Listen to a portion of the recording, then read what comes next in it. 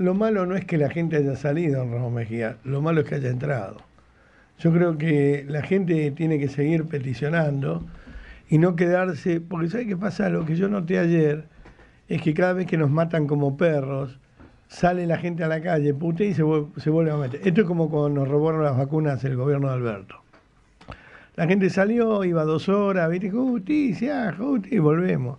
Y al otro día tenés otro hecho, viste, para salir. Y este, del kiosquero no vamos a olvidar, calculo que mañana. Hoy puede ser que si hacemos mucha fuerza lo tengamos en cuenta. Pero mañana habrá otro hecho que tapará la muerte del kiosquero. Entonces yo me preguntaba, cuando venía para la radio, eh, ¿qué nos, nos sostiene a la Argentina? ¿Por qué hay que quedarse? A ver, si vos vas a una fiesta donde los dueños de casa son patoteros, donde se afanan las carteras que dejás en el guardarropa y las camperas, donde a mitad de la noche te cortan la música, donde cuando se le ocurre al borracho del dueño te dice hoy no baila nadie más. Y después cuando ve que se le cae la fiesta se vuelvan a bailar todos. ¿Por qué me voy a quedar en esa fiesta? Si no es una fiesta. ¿Qué es lo que nos obliga a quedarnos en la Argentina? A ver, la esperanza. La maldita y mentirosa esperanza de construir un país y vamos a poner emblemáticamente España o Estados Unidos, que son los dos sueños argentinos. En España, en Estados Unidos, sí, pero esto no es ni España ni Estados Unidos. Esto es un país con un porcentaje muy grande de mafiosos. Y tenés mafiosos de todo tipo, afortunadamente mafiosos. Tenés mafiosos eh, en la política, muchos, todos. Tenés mafiosos en las villas miseria, tenés mafiosos en la clase media y tenés mafiosos en la clase alta.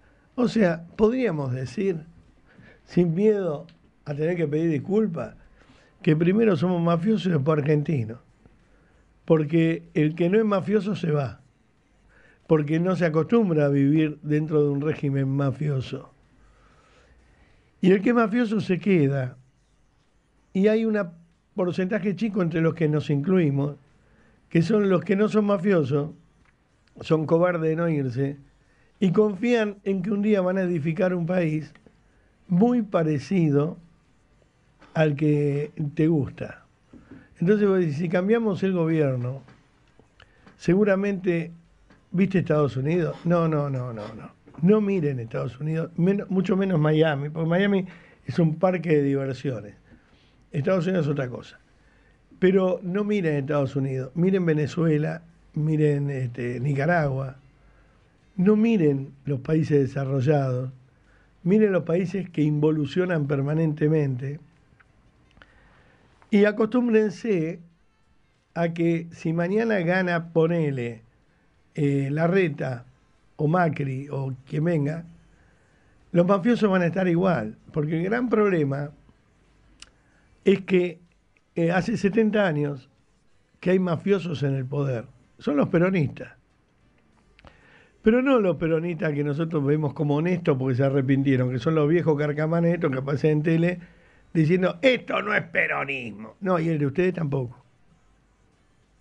Porque ustedes destruyeron la Argentina. Es duro, ¿no? Porque es bien gorila y facho. Pero estoy cada día más orgulloso de ser gorila y facho, porque de ser facho y gorila te vas alejando un poco de los mafiosos. Ayer el papá de el kiosquero muerto en un momento dijo, tienen que venir los militares y la gente que estaba conmigo, uh, digo, no, no diga no.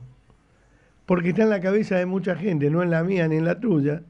Pero la gente grande, que no ve salida y no entiende esta estafa de 40 años que te la venden como democracia, esto es como las medias que te venden en la esquina.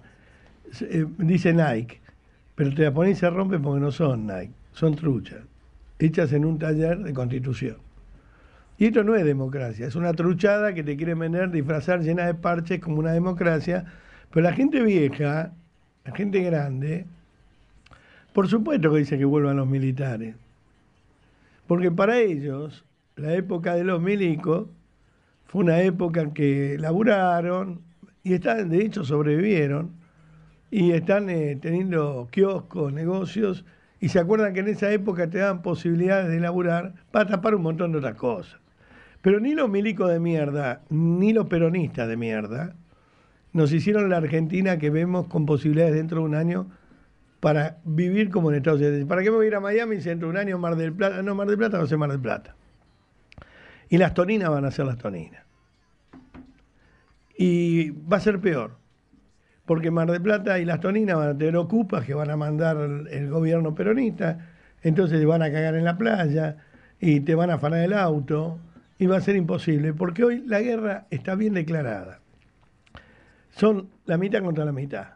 Hay la mitad de pobres que se compran con un choripán y están al servicio de la mafia, y la mitad que está luchando para no caerse de la clase media a la pobreza, que está tratando de luchar contra el gobierno para que no te conviertan en un lumpen más que va a aplaudir cuando mueve las caderas Cristina.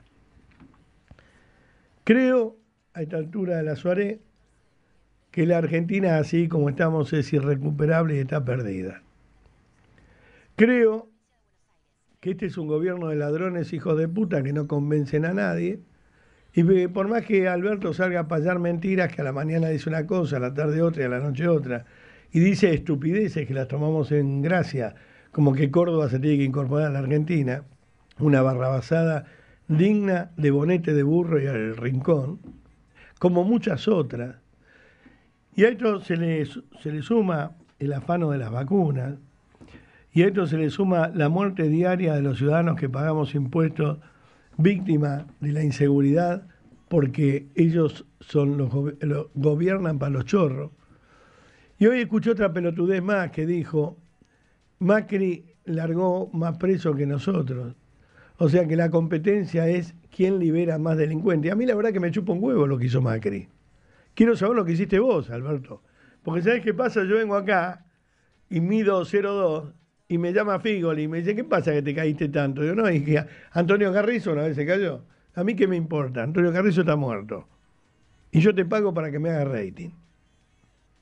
¿Ok? Entonces a mí me importa un carajo lo que haya hecho Macri. Y si querés, y hacer una retrospectiva, vamos, ¿y Cristina qué hizo? Entonces la verdad que con todos estos chantapufis miserables, estos sinvergüenzas delincuentes, esta caterva de analfabetos, porque además se divide entre los mafiosos y los idiotas. Los idiotas son los que piensan que una provincia no pertenece a la Argentina, pero además de todo son mafiosos. Entonces tenés mafiosos vivos y mafiosos idiotas. El hecho en que entre los mafiosos vivos y los mafiosos idiotas nos hicieron mierda el país. Por eso, hoy escuchaba en C5N, yo paso y miro un poco a ver qué estupidez nueva dicen.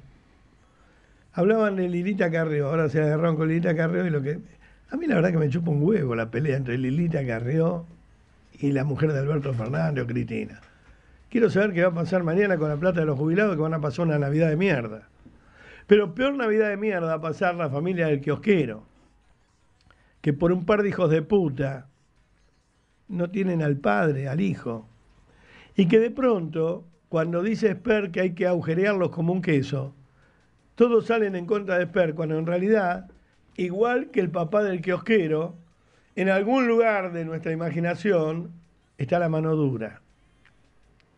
Y yo creo que la mano dura está igual que los presos de Auschwitz, que por ahí veían un casco americano que los venía a rescatar. Y yo creo que la mano dura la tiene el gobierno de Cristina Kirchner y yo creo que la dictadura y la mano dura la tienen ellos que largan los batallones de hijos de puta a matar gente, o a escrachar gente como las feminazis, o a robarle a la gente como los gobernadores, los diputados y los senadores. Por eso creo que sería conveniente que tomemos conciencia de la realidad que estamos viviendo para no mirar las playas de Miami como una extensión de Mar del Plata. Nosotros nunca vamos a ser Miami, a ver, nunca vamos a ser España, nunca vamos a ser Italia, porque Italia terminó con la mafia y la redujo a un lugar de Sicilia. nosotros tenemos la mafia que va creciendo y viene de Rosario a la matanza. ¿Y por qué viene de Rosario a la matanza? Porque hay un mafioso que los deja entrar. Y hay un mafioso en la matanza que tiene vinculaciones a lo mejor con la droga. Y tiene vinculaciones a lo mejor con el narcotráfico. Y tiene vinculaciones con los delincuentes. ¿Quiénes? Los que van a aplaudir cuando Cristina mueve el culo arriba del escenario y les baila el mambo. Y tiene relaciones directas con los que salen a alquilar 46 mil remises para llevar a los hambreados a votar, como se llevaban en los campos de concentración a la gente, mientras matan a los kiosqueros y a los taxistas y a los remiseros. Por eso el problema no está en salir a quejarse. Pueblo de la Matanza, está en entrar. No entren. El domingo hay elecciones. Cáguenlos a voto en contra arruínenlos, sáquenlos, hagan que la matanza crezca de verdad, no que crezca en delitos, no que crezca en drogas, no que crezca en muertes. La matanza avanza en muertos. Por eso, no solo la matanza, ni hablar de Avellaneda, ni hablar de Quilmes, ni hablar de Merlo, donde en Merlo tienen un intendente procesado y condenado por afano ni hablar. Y ahí van a cerrar la campaña los, los, kirchneristas, porque en un, en un este, distrito de delincuentes se van a sentir como pez en el agua. ¿Hasta cuándo vamos a soportar que nuestro país, nuestra patria, a la que pelearon este, San Martín, Belgrano, Moreno, esté gobernada por esta mierda de gente impresentable? Esta lacra impresentable estos ridículos que el mundo le da la espalda, estos pelotudos que corren por los pasillos para ver si les da una foto un demócrata y se contagian. Por eso mismo hoy los chicos de Ramos Mejía velan a su padre. Ramos Mejía entero velan. Y mandan a la policía, que son ciudadanos iguales pero vestidos de policía, los que tienen también 40 mil pesos para llegar a fin de mes, a tirarle gases lacrimógenos a los vecinos que pagan los impuestos para mantener la falopa de los que mandan. Y no le mandan a tirar gases lacrimógenos a los Graboy, a los Esteche, cuando te rompen las pelotas cortando las calles, hinchándote los huevos en la 9 de julio y no dejándote ir a trabajar. Los gases lacrimógenos que tendrían que tirar adentro de la 1 11 14 para sacar a los narcotraficantes que viven con la gente honesta, pero se la tiran a los vecinos que pagan impuestos, estos hijos de puta. Y les pegan a los vecinos que pagan impuestos para que no lleguen a tomar la comisaría. Tienen que tomar la intendencia, no la comisaría, los vecinos, y aplaudir en la puerta hasta que el intendente dé la cara cobarde. Que no saliste a poner la jeta. La matanza avanza, bailando con la princesita. Por eso, vaya a Estados Unidos, vaya a España, vaya a Francia, vaya a Italia, pero nunca espere que nos contagiemos. Nosotros somos nada más que esta mierda, llena de mierda, en un país maravilloso que se llama Argentina. Babi en el medio marca la diferencia.